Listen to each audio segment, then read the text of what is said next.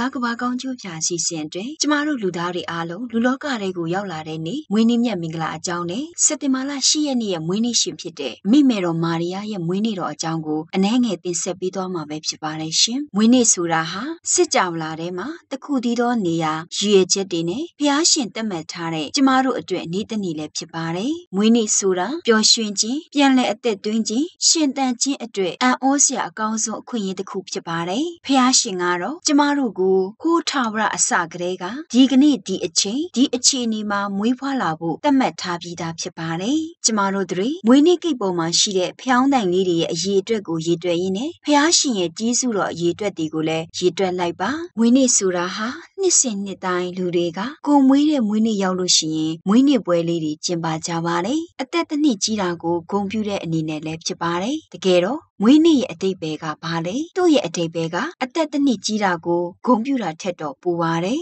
လူတယောက်မွေးလာပြီဆိုလို့ရှိရင်အဲ့ဒီလူရဲ့မိသားစုသူ့ရဲ့အတိုင်းဝိုင်းရွှေမျိုးသားချင်းတွေကဝိုင်းပြီးတော့အတိမတ်ပြုကြပါတယ်လူတယောက်မွေးဖွားလာပြီဆိုကြတဲ့ကအတိုင်းဝိုင်းကလူတွေဟာအရင်ကသူတို့မလုပ်ဘူးတဲ့အလုပ်တွေကိုလုပ်လာကြပါတယ်မိဘဆိုရင်လည်းကလေးအတွေ့ပြင်ဆင်စရာရှိတာတွေပြင်ဆင်လာကြပြီးကလေးအတွေ့ရည်ရွယ်ချက်တွေထားရှိကြပါတယ်ရွှေမျိုးသားချင်းတွေကြပြန်တော့လေသူတို့အတိုင်းဝိုင်းတွေကိုအသစ်ဝင်လာတဲ့လူတယောက်နဲ့ပတ်သက်ပြီးတော့မိဘတွေနဲ့အတူတူပဲစိတ်ကူးတွေရင်ထက်ကြပါတယ်။ဥပမာအားဖြင့်ဒီကလေးကြီးလာလို့ပညာတတ်ဖြစ်ရင်ငါတို့အမျိုးဂုံတက်မယ်စသဖြင့်စိတ်ကူးရင်ထက်ကြပါတယ်။ဒီလိုလူတယောက်လောကကြီးတဲ့ကိုရောက်လာတဲ့စုကလေးကသူ့ရဲ့ပဝင်းကျင်ကလူတွေကသူ့အပေါ်မှာမျှော်လင့်ချက်တွေထားတတ်ကြပါတယ်။တစ်နှစ်ထက်တစ်နှစ်အဲ့ဒီကလေးကြီးလာတဲ့အခါကျပြန်တော့လေသူတို့ရဲ့မျှော်လင့်ချက်တွေကပိုပိုပြီးတော့ကြီးလာပါတယ်။ဘာဖြစ်လို့လဲဆိုတော့သူတို့ဒီကလေးပေါ်မှာမျှော်လင့်ထားတဲ့ကိစ္စကဖြစ်ဖို့နီးလာတာကြောင့်ပါအဲ့ဒီကလေးအသက်တစ်နှစ်ပြည့်တိုင်းတစ်နှစ်ပြည့်တိုင်းမှာသူတို့ရဲ့မျှော်လင့်တဲ့စိတ်တွေဟာလည်းအဲ့ဒီကလေးရဲ့အသက်နဲ့အတူ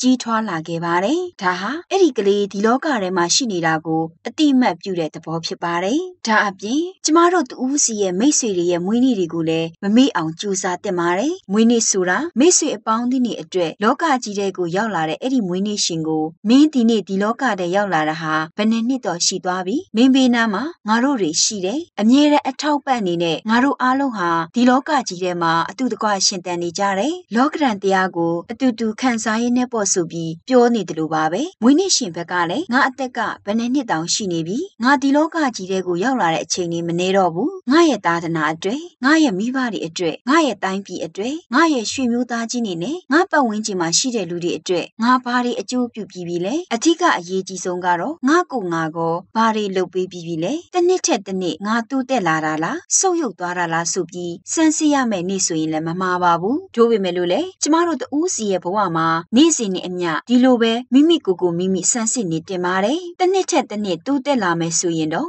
ရှေ့လျှောက်ဒီလန်းအတိုင်းဆက်သွားရင်အောင်မြင်လာမယ်။အဲ့ဒီလိုမဟုတ်ဘဲနဲ့ဆုတ်ယုတ်ခဲ့မယ်ဆိုရင်တော့ပြန်ပြီးပြင်ဆင်တင်ပါတယ်။မိမိရဲ့ဘဝမှာဘာတွေပြောင်းလဲဖို့လိုနေလဲဆိုတာကိုပြန်စဉ်းစားပြီးတော့ပြင်ဆင်ရမှာပါ။ဘာပဲဖြစ်ဖြစ်လူဆိုတာဟာကိုရှောင်လန်းခဲ့တဲ့ခြေရာတွေကိုပြန်လှည့်ကြည့်လိုက်တဲ့အခါမှာဂုံယူကျင်ကြတာပဲမဟုတ်လား။နှစ်စဉ်နှစ်တိုင်းကျမတို့တူးစီရဲ့မွေးနေ့ရောက်လာတဲ့အခါမှာကိုကိုကိုပြန်လဲတုံးသက်တင်ပါတယ်။မှားနေရင်လေလမ်းမှန်ကိုရွေးလျှောက်မယ်ဆိုရင်တော့ကိုဘဝရဲ့အတိတ်ကိုဘယ်အချိန်မှပဲပြန်ကြည့်ကြည့်နောင်သားရစရာမရှိပါဘူး။ပြီးခဲ့တဲ့နှစ်တွေတုန်းကကိုမပြောင်းလဲနိုင်ခဲ့တဲ့အရာတွေမလုတ်ချင်ခဲ့တဲ့အခြေအနေတွေအဖြစ်ပြက်တွေတိမ်ငယ်စိတ်တွေကြားထဲမှာရှုပ်ထွေးနေအောင်မယ်ဆိုရင်ကျွန်တော်ဤဘဝ၌ထိုအရာများကိုဖြစ်ရပါစေကျွန်ုပ်ကိုဥဆောင်လမ်းပြပေးတော်မူပါဆိုပြီးမကြာခဏဆိုသလို l'eau ဖះရှင်ထံမှာဆုတောင်းမြတ်တာပိုတင်ပါတယ်။ကျမတို့တဦးစီဟာဖះသခင်ကကဘာကြီးကိုပေးထားတဲ့လွတ်လပ်ခြင်းလက်ဆောင်တစ်ခုဖြစ်ပါတယ်။ဒါကြောင့်ကျမတို့ရဲ့အရှိအခြေအနေအချိန်တိုင်းနေ့ရက်တိုင်းအတွက်ဖះရှင်ကိုကျေးဇူးတင်တင်ပါတယ်။စက်တင်ဘာလ10ရက်နေ့ရဲ့မွေးနေ့ရှင်ဖြစ်တဲ့အမိမေတော်မာရီယာရဲ့ဘဝကိုပြန်လဲကြည့်မယ်ဆိုရင်သခင်ခရစ်တော်ရဲ့တကူအာနုဘော်တော်ရဲ့နောက်ွယ်မှာ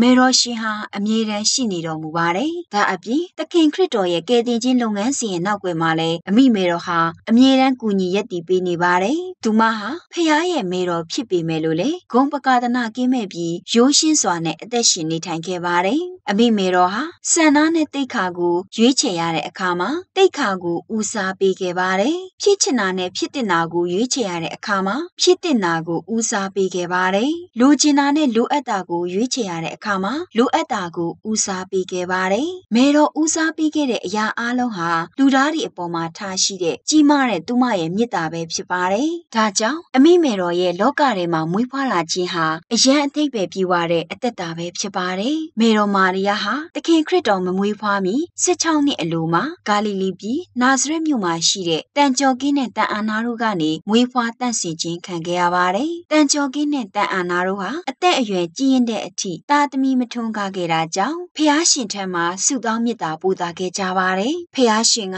သူတို့ရဲ့ဆုတောင်းတန်ကိုနားညောင်းတော်မူခဲ့ပြီးကယ်တင်ရှင်မက်ဆီးယားရဲ့မေတော်ဖြစ်လာမယ်။မေတော်မာရီယာလေးကိုတမီးယရနာအဖြစ်ပေးတနာတော်မူခဲ့ပါတယ်။မေတော်မာရီယာရဲ့မွေးနေ့ပွဲတော်ကိုဂျေရုဆလင်မြို့မှာအရင်ဦးစွာစတင်ကျင်းပခဲ့ပြီး688ခုနှစ်မှာယဟန်မင်းကြီးစာဂျီဥစလက်ထက်မှာတကဘာလုံးကိုပြန့်နှံ့သွားခဲ့ပါတယ်။မေတော်မာရီယာရဲ့မွေးနေ့ပွဲတော်ဟာဒီဇင်ဘာလ10ရက်နေ့မှာကျင်းပတဲ့သူမရဲ့အပြစ်မဲ့တရေယူခြင်းပွဲနဲ့ဆက်ဆက်မှုရှိပါတယ်လို့တင်ဆက်ပေးချင်ပါတယ်။ကျမတို့တဦးစီဟာလည်းချစ်ချင်းမေတ္တာတော်၌ဖန်ဆင်းခြင်းခံကြရပြီးချစ်ချင်းအားဖြင့်လမ်းပြပြီးလိုရာကျေးဇူးတွေရရှိခဲ့ပါတယ်။ဒါကြောင့်ကျမတို့ရဲ့ဖန်ဆင်းရှင်ရဲ့ဘုန်းတော်ကုံတော်ကိုအမိမေတော်နဲ့အတူချီးမွမ်းလိုက်ကြရအောင်။လိုအပ်တဲ့ကျေးဇူးတော်တွေကိုလည်းအမိမေတော်မှသဖြင့်အဖခမီးတော်ဖျားထံတောင်းလျှောက်သွားကြပါစို့လို့တင်ဆက်ပေးလိုက်ရပါတယ်ရှင်။ကျမကတော့ Sister Regina မမိုးခိုင်ပါ